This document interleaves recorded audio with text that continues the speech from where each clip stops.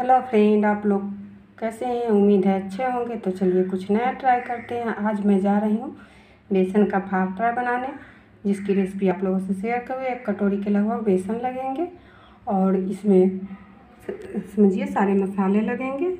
मिर्च है, थोड़ा तीखा चटपटा ही ज़्यादा अच्छा लगता है फाफड़ा।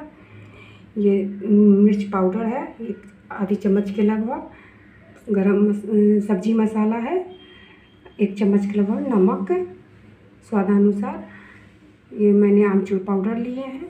एक कटोरी 200 के लगभग बेसन है।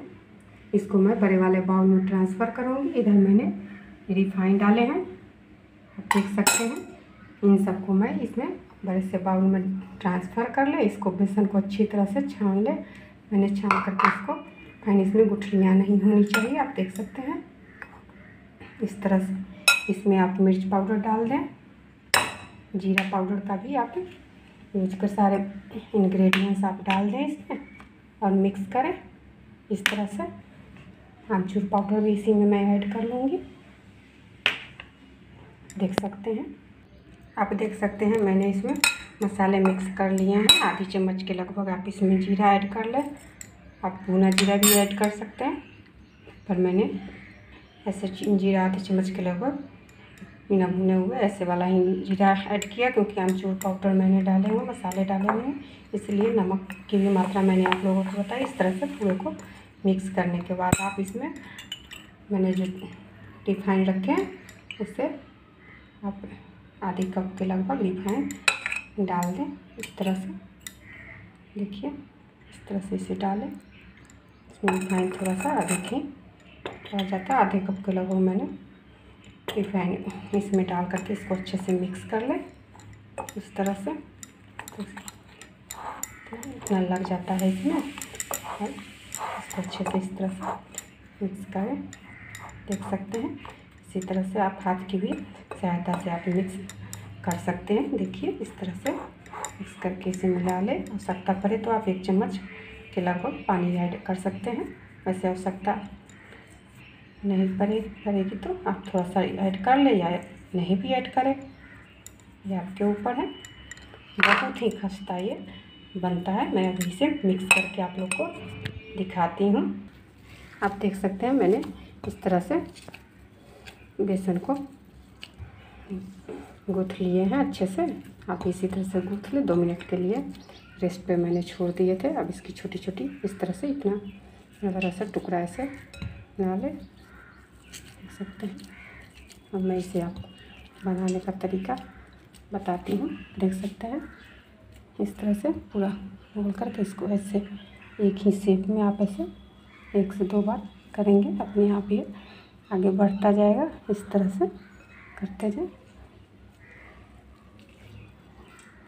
हथी से। इतना ही पतला आप रखें। देखिए, इस तरह से होगा। इसको अगर बीच से हल्का हल्का किनारे से ये हो जाए तो इसे हटा दें और फिर से दोबारा उसी तरह का बनाए। इस तरह से लंबे लंबे शेप में जो फाफड़े का शेप होता है, आप चाहें तो चौड़ा भी रख सकते हैं। और या तो आप, देखिए मैंने इसे हटा दिया। कितने बन गए। इस तरह से आप भी बना लें। कि इस तरह से आसानी से निकल भी जाते हैं। मैं प्लेट में इसे ट्रांसफ़र कर लूँगी मैंने दूसरा बनाया है इसी तरह से। देखिए, इस तरह से।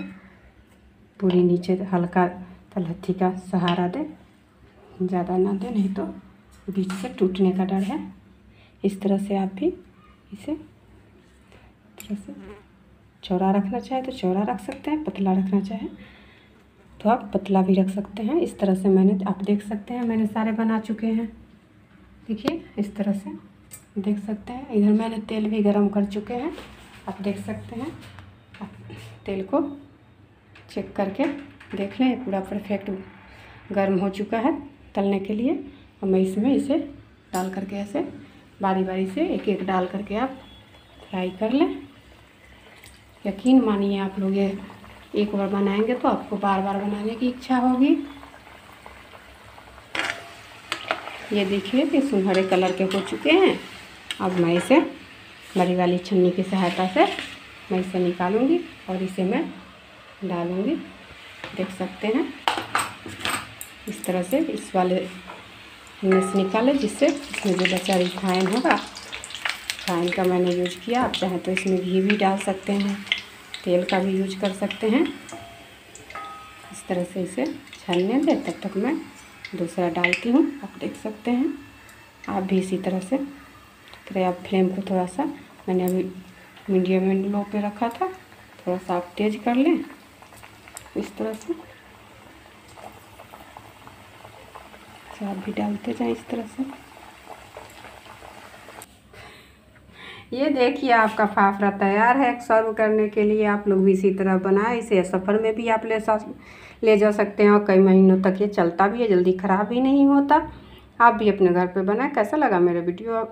अगर आप लोग को पसंद आए तो इसे लाइक कीजिए सब्सक्राइब कीजिए, मुझे मोटिवेट कीजिए। थैंक यू धन्यवाद।